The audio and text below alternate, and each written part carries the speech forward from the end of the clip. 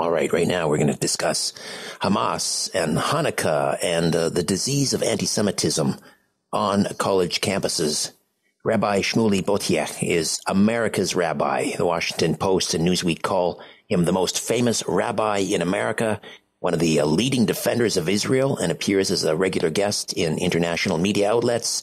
He's also one of the world's foremost and uh, respected and oft quoted relationship experts, the, uh, the author of 36 books, including the 25th anniversary edition of Kosher Sex, a recipe for passion and intimacy. Rabbi Boteach, welcome to the Richard Syrett Show. How are you? I am well, thank God. Thank you, Richard. Thank you for having me. And happy Hanukkah. Happy Hanukkah. It's the last night, so we snuck it in. That's it. One more crazy night. Um, I want to first of all, if I could get your reaction to very disappointing for me as a Canadian, and I know many Jewish Canadians, the what I would refer to as the total betrayal, not only of Israel but Jews living in Canada. Canada siding with countries like Iran and North Korea and uh, China in voting for a, a ceasefire between Israel and Hamas, uh, and that vote that um, you know did not include any condemnation of Hamas uh, didn't demand the hostages back, just called for an out and out ceasefire. Your, your reaction to that vote and Canada? Justin Trudeau is a national embarrassment to Canada. He has no moral compass, he has no backbone. Uh, he's really a follower, he's never a leader. Uh, I've rarely seen a internationally prominent figure, you know, a, a leader of one of the G7 countries who has the constant need to be loved. He just needs to be embraced. He rarely ever stakes out moral positions. The the war between Israel and Hamas is the clearest example of good versus evil. Hamas is evil incarnate. They gang rape women. They burn babies alive. They behead those babies. I went to the killing fields outside of Gaza myself a month ago. I saw the blood congealed on the walls to to three to four inches. I saw the knives that were used from the victims' homes and the kitchens by the Hamas terrorists to stab them to death. I saw the giant um, pickup trucks with the 50 caliber machine guns on the back. Justin Trudeau has made no such trip. President Biden, the most powerful man on earth, went to Israel four or five days after the attacks. Uh, it's not that Trudeau is an anti-Semite. He's not. It's not that Trudeau doesn't care about Jews. I'm sure he does. It's not that he doesn't like Jews. I'm sure he does. It's that he is a he is a coward. A coward should not lead. He actually made statements to the effect that, like, stop killing babies. I mean, Justin, with all due respect, can you shut up? Stop killing babies. What do you even know? His ignorance is on display for the entire world, and and I just kind of feel bad that most Canadians have to be um, stained by his disgusting amorality. So that's there it is. Sorry to mince words, but when people are calling for a second Holocaust of the Jewish people, I'm not going to be silent. Yes, the um, the attempt to draw this moral equivalency between what Hamas is doing and how the Israelis are defending themselves uh, and I mean, this this is becoming so pervasive in our society where where people cannot. I mean, they lack this moral clarity. Uh, where they think that somehow, you know, again, Israel is this apartheid state, and yet it's so bad that Arabs from all over the world are flooding into Israel to live there and to thrive there.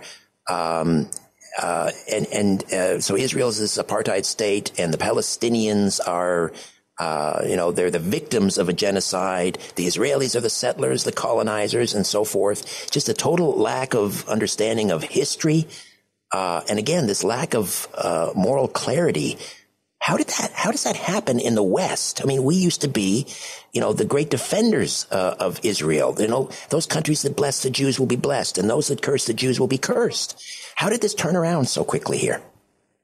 Well, it, firstly, it's the product of 2,000 years of anti Semitism. Uh, yes, the West has come to the realization, or I should say, some of the West, especially the United States, evangelical Christians, for example, who take the Bible at its word that if you stand with the Jewish people, God will stand with you. But that's not been true for 2,000 years, where Jews have been slaughtered in the Crusades, falsely accused in blood libels of drinking the blood of Christian children.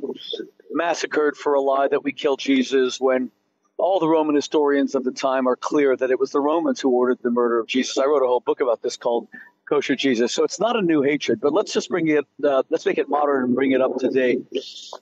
Um, to say that was an apartheid state, go to the war in Gaza. I have two sons serving in the IDF right now. We pray for their safety every day. You will see that approximately 20% of Israel soldiers are black. They're black Jews. Um, I take pictures of them all the time so that people, you know, see it. So many black Jewish IDF soldiers are being murdered by Hamas. Well, there goes the apartheid. The genocide argument is the most laughable of all because people don't even know what the word genocide means. Most people, in their ignorance, think that genocide means, you know, killing a lot of people. It's based on numbers. It's not. Genocide was a term coined by the Holocaust surviving lawyer, Jewish lawyer in the 1940s. His name was Raphael Lemkin. It means geno, oh, ethnicity, side is murder. So it's the murder of an ethnicity. who seek to exterminate an entire people, the way the Germans tried to kill all the Jews. Well, if Israel is guilty of a genocide of the Arabs, why is Israel giving full rights and citizenship to 1.8 million 1.8 million Arab citizens of Israel, who have e- who have even more rights than Jewish citizens. They're very easy to prove, because the Arab citizens are not drafted into the military. Now, if you think that doesn't matter, remember that the United States during Vietnam was torn apart at the seams over the issue of the military draft. Arabs are not drafted; they do not have to fight. They are not fighting in Gaza. They are not fighting in Hezbollah in the north. My sons, who are uh, volunteers in the IDF. They're called Chayalim Bodedim Lone Soldiers. They are fighting. Um, so there, there goes that lie. Where does it come from, Richard? Simple. It comes from this stupid thing that we call underdog. You automatically, well, it comes from anti-Semitism, but underdog you automatically choose what you perceive to be the weaker party, and then you say they must be the ones who are who are righteous. Based on that thinking, by 1944, Hitler and the Germans, who were being destroyed by German bombs, including many Canadian bombs, German cities being wiped out by Canadian bombs, would be considered the righteous party. That Hitler and the Nazis would be considered the righteous party because they were the weaker party. It's a stupid argument. Obviously, it's just an insipid, asinine argument. Excellent point. All right, uh, Rabbi Boteach, we'll take a quick time out, come back, and uh, discuss further Hamas, Han- Hanukkah, and the disease of anti-Semitism on college campuses. Rabbi Shmuley Boteach, America's rabbi, and uh, the 25th anniversary edition of Kosher Sex, a recipe for passion and intimacy, now available. Back with more of our conversation in three minutes. And we are back with America's rabbi, Rabbi Shmuley Boteach, and uh, the author of 36 books, including the 25th anniversary edition of Kosher Sex, a recipe for passion and intimacy. We're talking about Hamas, Hanukkah, anti-Semitism on uh, college campuses. We had a, a, mayor, we have a mayor, unfortunately, in Calgary, Jody Gondek, who refused to attend a menorah lighting ceremony because she said that, uh, well, it's getting too political. It's all tied up in, with Israel now. Um, but isn't that the point? I mean, you, you cannot separate Hanukkah from Israel, um, or am I wrong?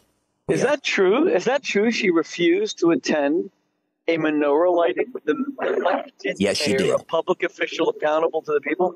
Yes, she did. Just uh, let me just go on the record by saying that is disgusting, vomit-inducing, stomach-turning, and deeply anti-Semitic.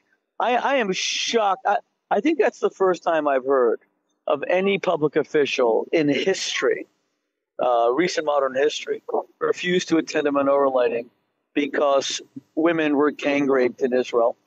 Let me just be clear, and she's a woman. You said the mayor, Correct. right? Yes, Mayor Jody Gondek. You know, I want to, I want, I want to speak about the utter hypocrisy. You are allowed to uh, rape women as long as they're Jewish. Otherwise, the UN will object, the police will arrest you. Uh, women's groups, feminist groups, women's rights groups will protest against you. They will try to cancel you. We have we have evidence of hundreds of Israeli women and Arab women, by the way, and Thai women who were on October the 7th were, were not just raped, not just beheaded, but gang raped they were passed from Hamas terrorists to Hamas terrorists. Some of them gang raped by American men. I wonder what this mayor has to say about that. Maybe she would say, look, if they were Canadians, we care. If they were not Jews, if they were Muslims, we care. But because they're Jewish, nobody cares. We never cared. During the Holocaust, 10,000 Jews were murdered every single day. I want to repeat that for all you Canadian listeners. During the Holocaust, 10,000 Jews, and this is in the lifetime of all of your parents, were murdered every single day. That's three 9 11s a day that the Jewish people experienced. For four straight years, 6 million um, it's it's a number until you try to think about every single name.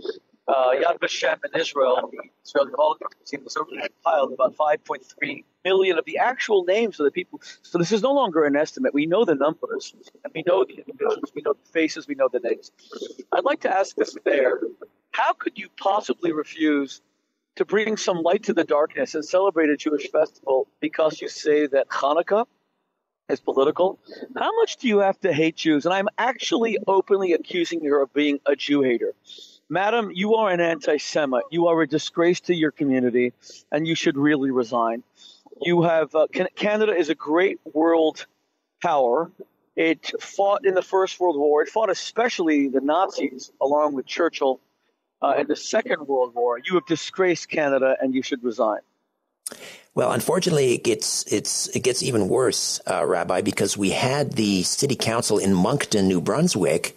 Well, they tried to cancel the menorah lighting ceremony there, except that thankfully there was such a, an uprising and a backlash from the citizens of Moncton that they they uh, reversed their position. But uh, had it not been for that, Moncton would have uh, canceled their menorah lighting uh, ceremony. Is, is, is, is, Canada losing its mind? Do they, and are they not aware of how this is viewed by the rest of the world?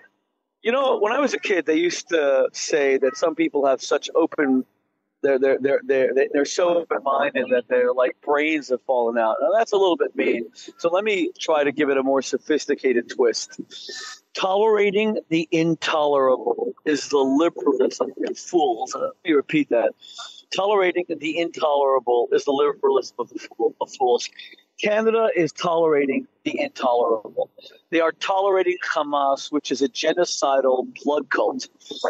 All Hamas wants is blood, blood, blood. They're talking about. I, I, I wish I could have these people on the show with me. I would ask them, "Are you aware that Khalid Mashal, the head of the head of Hamas, Ismail Haniyeh, the deputy head of Hamas, they don't live in Gaza. They live in five star accommodation. They each have a private jet. One is worth about seven billion dollars. The other is worth four billion dollars. They have stolen all the people of Gaza's wealth. Have they ever criticized these people? Now let's go to Hamas itself. We now have evidence. Every single night you can turn on the TV, and even the biggest Jew haters, the biggest anti Semites, will see that Hamas built a network of tunnels that is probably more ex- expansive than even the New York City subway system. How much did it cost to build that? 50 billion, 100 billion? Why didn't that money go to the people of Gaza over the past 20 years to build schools, to buy bread, to build hospitals, to build universities. All of this was built to create a terror infrastructure simply to kill Jews. And now the people of Gaza, who are the collateral damage of this war, they don't even have a single shelter to go to. The Hamas fighters do. They go into these tunnels and they're protected. But the people of Gaza are the ones who are suffering. And all these Jew anti Semite public officials in Canada have any condemnation for Hamas whatsoever? The answer is no, they don't, because they're biased against the Jewish people.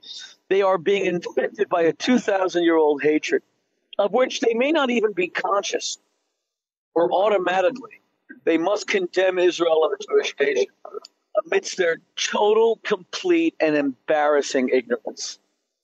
Yeah, it is. Uh, it's very it's very distressing. Um, disappointing is not the word. I mean, it's quite frankly, it's depressing. What is it's, happening? It's, it's, it's, embarrassing. It embarrasses Canada.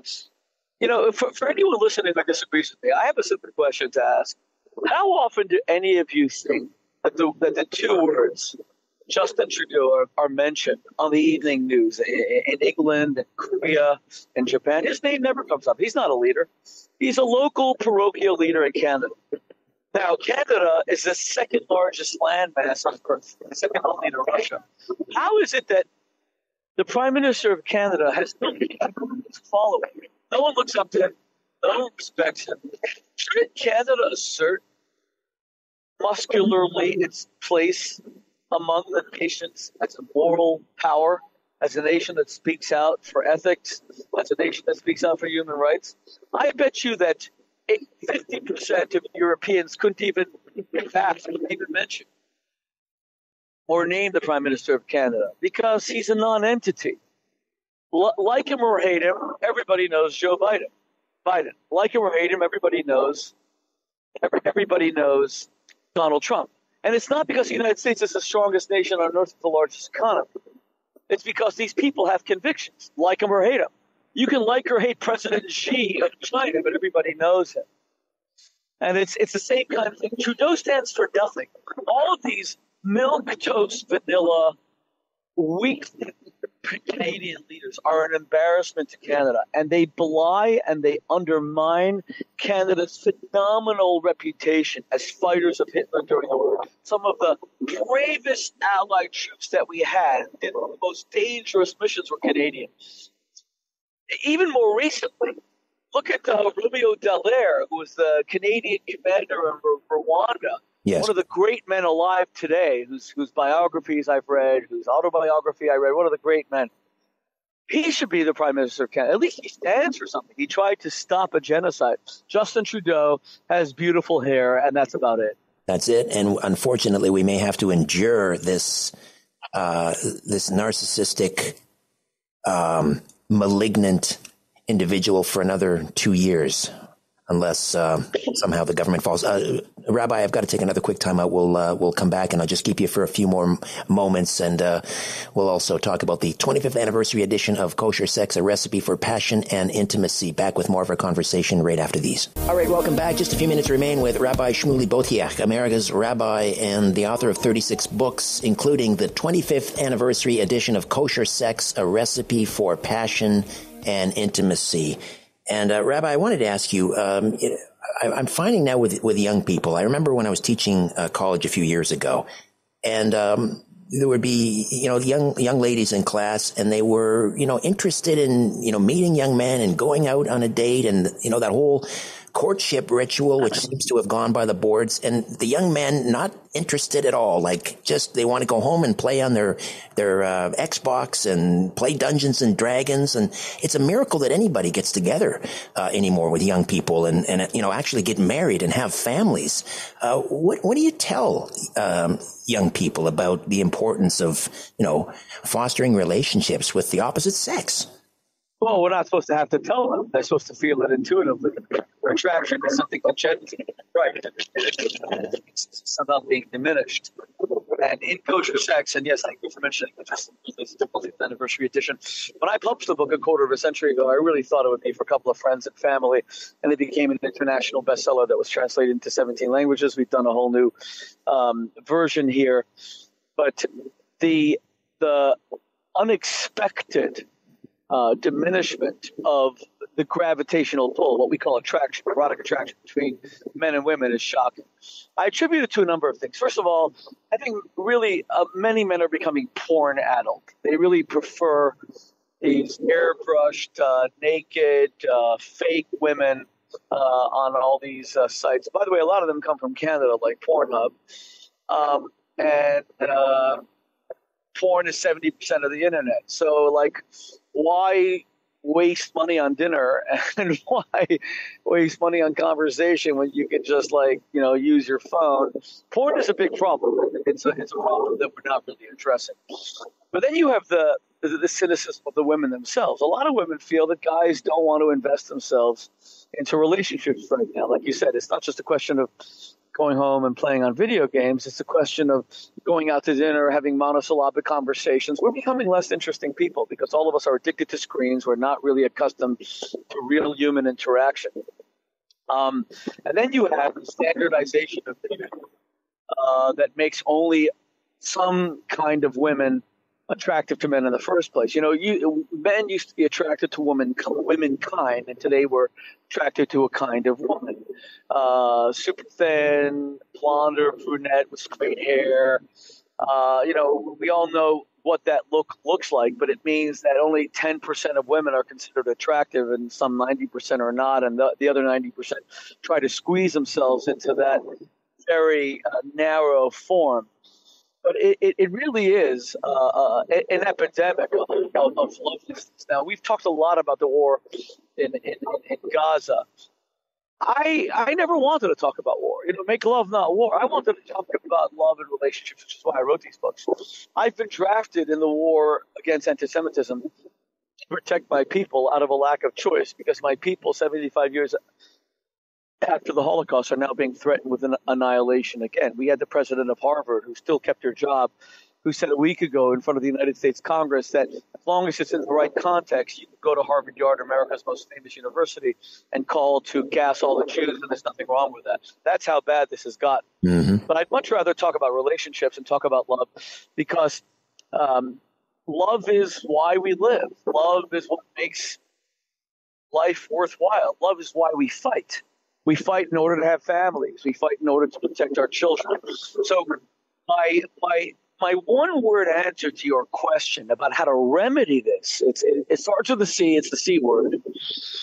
And the word is curiosity. If men and women became curious about each other again if they stopped if they turned the damn phones off if they went on dates and actually spoke about one another and tried to discover each other and explore one another and found humanity interesting not just to be news junkies or uh, video game junkies or uh, TikTok junkies uh, if we actually found hum- humanity interesting, you would see that dates would go on for longer. People would become more enmeshed with one another. They would fall in love more frequently, more easily. Their lovemaking would be so much more passionate because instead of it being just about the rush to climax, it would be about uh, uh, uh not not the destination climax, but the journey which is to explore each other's bodies fully and to gain pleasure from that exploration, we would transform human relationships. And that's why in Kosher Sex, I emphasize the need for erotic curiosity, emotional curiosity, and intellectual curiosity, and indeed spiritual curiosity. That's the essence of a healthy relationship. Rabbi Shmuley Boteach, and the uh, book is the 25th anniversary edition of Kosher Sex, a recipe for passion and intimacy, available wherever good books are sold, Barnes and Noble, online, Amazon. Uh, Rabbi, thank you so much. Yeah, and, can I can I can I just and after condemning social media, let me make sure that you go to my social media so you can read more, more about my condemnations of social media. go to go to uh, Instagram, Rabbi Shmuley, R A B B I S H M U L E Y. Go right now, Rabbi Shmuley X, formerly known as Twitter, Rabbi Shmuley, Twitter, sorry, TikTok, uh, Rabbi Shmuley. Uh, make sure you go to TikTok as well because we want to make sure that President Xi of China can read all of our correspondence. He gets bored during the day, you know. So we want to make sure that he can uh, access everything that you send me. So please sign up on all three. That would be great. God bless you guys. Happy Hanukkah. Thank you so much, Rabbi. Happy Hanukkah. Thank you.